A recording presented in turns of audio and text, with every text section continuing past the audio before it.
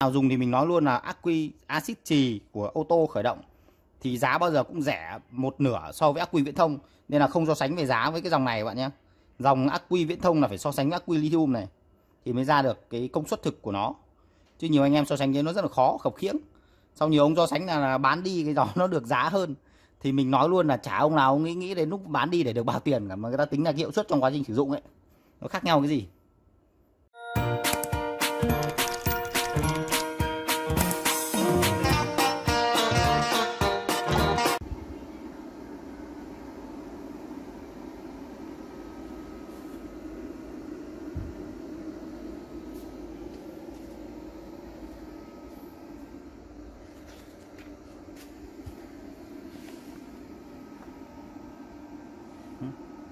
Lô xin chào các bạn nhé. Các bạn à, đang xem trên mảnh là một cái bộ ắc quy lithium.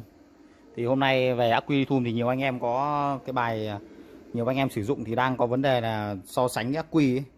Thì hôm nay mình sẽ chia sẻ một chút bạn ở phần ắc quy lithium, tại sao mà bây giờ thế giới họ đều đang sử dụng và đợt tới các xe điện đều lắp mà tại sao họ lại không lắp cái ắc quy viễn thông. Và nhiều anh em là so sánh với các loại ắc quy acid gen à, ắc quy acid trì thì nó khác cái gì mà tại sao lại các bạn lại đi so sánh với ắc quy ác quy à, trì ác quy khởi động của ô tô ấy. cái dòng giá rẻ ấy, với cái dòng cao cấp. Đấy, thì nó khác nhau cái gì mà tại sao rất nhiều ông thích so sánh? Bởi vì những ông ấy chưa dùng qua thì mình sẽ chia sẻ một chút về cái dòng này. Đấy, các bạn đang xem trên ảnh thì là hệ thống ác quy nhá. Ở đây mình đang lắp là hệ 1 2 3 4 5 5 đang là hệ 48V 500A đang à, lắp test thử chứ gửi đi cho anh khách. Thì đây là test thì các bạn nhìn trên ảnh sẽ như thế này. Hệ thống sẽ trang bị là mạch báo điện áp từng cell và một mạch bảo vệ tổng.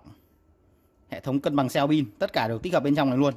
Và cái chính là rất là nhỏ bình này là bình 100A 100A mà nó nhỏ nó, nó, nó nặng khoảng 8 cân rồi bạn nhé nặng khoảng 8 cân nhỏ bằng 1 phần 3 bình ắc quy truyền thống. Với cùng một kích thước à, với cùng một cái ờ, không gian thì sẽ để được tầm gấp 3 lần lên. Tức là bình thường các bạn cùng không gian nó để được 100A thì với không gian này sẽ để được 300A luôn. Đấy, nhỏ gọn nhẹ.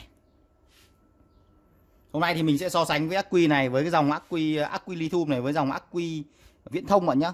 Bởi vì cái dòng ắc quy thường mà axit trì ấy, thì so với ắc quy viễn thông thì các bạn biết là nó quá kém xa rồi, chả ông nào ông dùng cả. Như anh em nào dùng thì mình nói luôn là ắc quy axit trì của ô tô khởi động thì giá bao giờ cũng rẻ một nửa so với ắc quy viễn thông nên là không so sánh về giá với cái dòng này bạn nhé.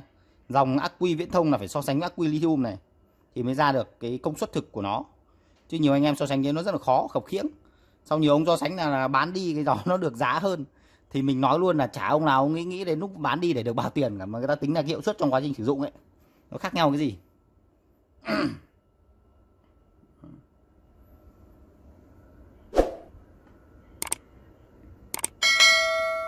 Khi các bạn sử dụng cái ắc quy ắc quy lithium này thì bao giờ người ta cũng đề cao nhất đó chính là phần hiệu suất của nó bạn nhé, hiệu suất cực kỳ cao luôn.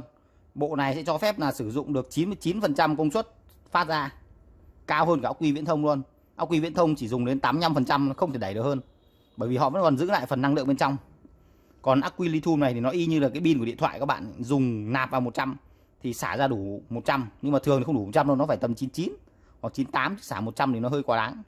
Đấy, là như vậy. Và thứ hai là cái vòng nạp xả nó rất là cao các bạn dùng điện thoại các bạn biết là thường thì đến lúc các bạn bỏ điện thoại đi không dùng nữa thì pin nó vẫn dùng bình thường chả làm sao cả. Vẫn chạy tốt. Cái dòng đời nạp xả của cái pin lithium này nó sẽ tầm khoảng 3.000 à, ờ, hãng nó ghi là 6.000 nhưng thật ra thì các bạn dùng chỉ tầm 3.000 thôi. 3.000 thì nó không hỏng mà nó còn khoảng 70% dung lượng. Còn với dòng ắc quy viễn thông thì cho nó mắc thì được 1.500 lần. Đấy, 1.500 lần thì còn khoảng 50% dung lượng các bạn nhé. Nên là mình cứ nói là nó vênh lên một chút để cho nó cao thì bởi vì nó không so sánh với ác quy a ác quy trì ác quy axit trì thì các bạn dùng được 500 lần nạp xả. Là nó còn 50% dung lượng luôn. Để nói cho các ông nào dùng nó không biết luôn. Ác quy a axit trì rất là kém. Nó dùng cho khởi động thôi. Nên tại sao ô tô nó hay lắp? Dòng khởi động nó cao. Nhưng mà khi máy nó chạy rồi là bắt đầu máy phát điện trong xe nó hoạt động. Nó cấp điện lại để nuôi ác quy thành ra người ta chỉ cần để nó khởi động thôi, chứ không phải cần để duy trì nguồn điện. Thì nên hiệu suất nó rất là thấp hiệu suất của quy axit axit trì nó chỉ tầm khoảng 50% thôi. Hồi mới thì được tầm 75% còn cái bọn quy viễn thông này được khoảng 95% là hồi mới mới mua đấy nhá. Còn sau này chạy sẽ không thể bằng được cái bình lithium này. Một thế hai là như bắt đầu mình nói là cái dòng ắc quy lithium này nó sẽ trang bị một cái công nghệ quan trọng nữa, chính là công nghệ bảo vệ cell. Trong này có 4 cell này. Còn ắc quy viễn thông là 6 6 6 6 cell 6 ngăn. Đây là 4 ngăn ắc quy viễn thông là 6 ngăn. Ắc quy axit trì cũng 6 ngăn. Dòng này thì trang bị ờ, công nghệ là mạch bảo vệ. Khi mà hết điện là nó ngắt, không cho xả. Nạp đầy cũng ngắt, không cho nạp. Rất an toàn luôn. Ắc quy viễn thông hay là ắc quy trì các bạn dùng không bao giờ nó trang bị cho bạn công nghệ ấy. bạn nhá nạp đầy, nạp quá là phòng bình. Rút điện quá là chết cực. Nhưng mà riêng dòng này không bao giờ có chuyện đó. Nạp đầy, dừng luôn. Và khi hết điện là cũng dừng xả luôn. Nó có mạch bảo vệ mà tốt hơn nhiều. Đấy nhá khác hoàn toàn luôn để tránh cho những ông nào mà mua ắc quy uh, trì hoặc ắc quy viễn thông đi so sánh với dòng ắc quy lithium này. Các bạn mà để ý bây giờ các cái xe điện ấy, của Tesla ấy, chả ông nào ông dùng ắc quy trì của bạn lắp vào cả. Đã thế nó khập khiễng rồi nhiều anh em mình hỏi. Thế thì những cái thằng như Tesla ấy, nó có nghĩ đến cái ngày mà bán cái ắc quy trì thì mấy cả bán cái pin lithium đi thì cái nào có rẻ hơn không? Chắc người ta không nghĩ như thế đâu bạn ạ. Ừ. một thứ hai tiếp theo nhé một cái quan trọng nữa của cái dòng này này mà nhiều ông chắc cũng để ý rồi. Là nó cho phép nạp nhanh. Khi đã dùng ắc quy lithium rồi đảm bảo chỉ có mê thôi. Bạn nhá thích luôn. Và sau này bỏ hết ắc quy cũ luôn không bao giờ lắp. Các bạn lên cái diễn đàn để thấy anh em bán cái ắc quy trì hoặc là ắc quy viễn thông rất là nhiều luôn mà hàng dùng rồi. Chứ không phải bán hàng mới bởi vì hàng mới thường công ty nó lắp. Lắp xong nó thấy không hiệu quả hoặc là nhà dân một số người mua về xong không hiệu quả người ta lại bán đi. Bán đi để người ta nâng cấp lên pin li, à, ắc quy lithium là vì nó không cho cho phép sang nhanh. Chẳng như cái bình này 100 đúng không? Các bạn nhìn 100 này. Bình 100 này cho phép sạc tối đa 40A vào luôn. Đấy mình ghi 1 phần 3 đây là nó còn hơi ít đấy. Nạp nhanh nhưng vấn đề là nạp nhanh vẫn đủ dung lượng chứ không phải nạp nhanh là điện áp nổi bạn nhé. Thì các bạn nạp vào 100 là đủ 100 còn cái dòng ắc quy um, ắc quy viễn thông này thì thường là dòng nạp 1 phần 10 con nào châu chó thì dòng nạp được 1 phần 5 nhưng một phần năm thì nhanh dã cực lắm không chịu được. Nên thành ra các bạn mà lắp ắc quy này thường là sẽ thấy à, cái bộ mà lắp lên nó rất là to. Bộ nó to hoành tráng luôn. Đấy về phần nạp thì các bạn mà dùng cho lưu trữ mặt trời thì sẽ phát hiện ra một cái rất quan trọng là thường thì nắng nó to vào buổi trưa. Buổi trưa thì công suất nó lên cực đại thì bắt buộc phải có hệ thống của bạn nạp thật nhanh. Nó còn khoảng tầm 3 đến 4 tiếng buổi trưa tầm khoảng 10 giờ cho đến 2 giờ chiều là giai đoạn nắng to nhất lúc cái công suất nó cao cao thì bắt buộc là cái bình này phải chịu được nạp ngay vào. Còn nếu mà các bạn mua các quy truyền thống hoặc ắc quy axit trì ấy, thì lúc ấy nó có nạp vào đâu? Nó không tích điện. Thì nạp vào nó sẽ báo là bình đầy bình đầy nó không cho nạp như cái bình này này. Đây là cái bình này các bạn nhiều biết nhiều bạn biết mà mình hẳn vẫn đang dùng này. Ừ. đây nhá. Cái bình này là bình 48V 100A nhưng có đặc điểm là dòng nạp chỉ vào được cả 10A quay đầu thôi. Nếu mà dòng nạp mà tầm 30A là nó báo đầy điện luôn nó không cho nạp nữa. Thì buổi trưa nắng to là các bạn sẽ chết đứng bộ này luôn không dùng được đấy nên tại sao nhiều ông cứ bảo là à, đi so sánh với ác quy trì thì à, dùng được mấy năm sau bán đi được lãi hơn nhưng mà cái lúc dùng là sẽ bị lỗ bạn nhé. Thì các bạn các bạn buổi trưa nắng to hoặc là đang dùng công suất cao muốn nạp vào nó cũng đếch cho nạp vào nữa thì là mất rất là phí cái giai đoạn nó hiệu suất nó không đạt để sử dụng. Và tiếp theo một phần nữa là cực kỳ quan trọng chính là về phần nó gõ nhỏ gọn nhẹ các bạn ạ. Đấy, nói ngay từ đầu các bạn nhìn cái bình này. Bình này nhá.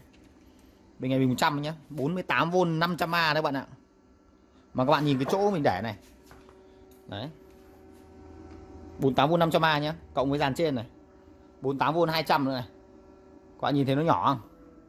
Từ cái khoảng để của nó, không gian rất nhỏ. Bình thường các bạn mà mua một bộ 48V 700A mà mua ắc quy về thì để thôi, nó chật nhà luôn.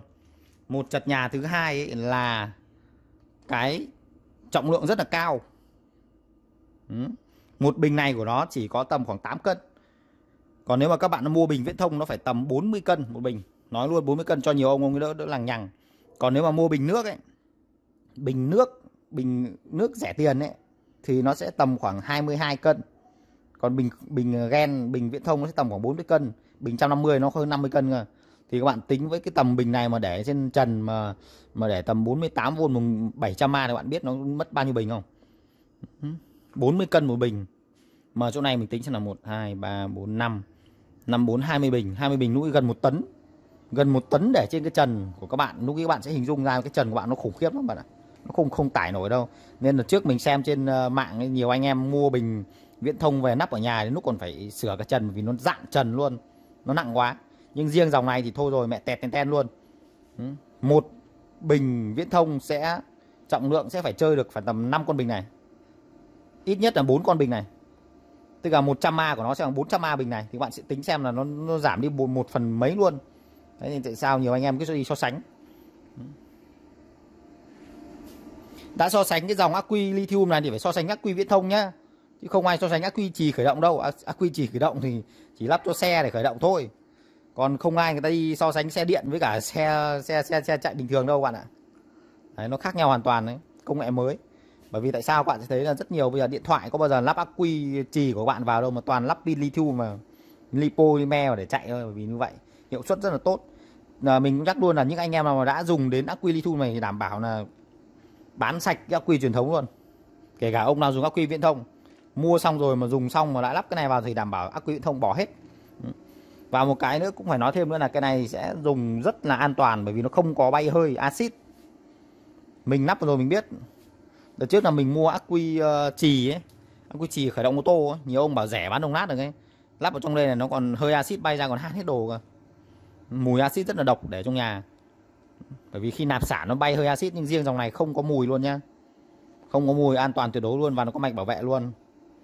Ừ, cực kỳ an toàn là vì vậy. Hệ thống báo xeo luôn này. Ừ. báo xeo bảo vệ luôn còn những đến cả dòng viễn thông còn không có nữa các bạn đi so sánh là phải so sánh dòng ắc quy viễn thông nhá. Dòng cao cấp ấy chứ đừng so sánh với dòng ắc quy trì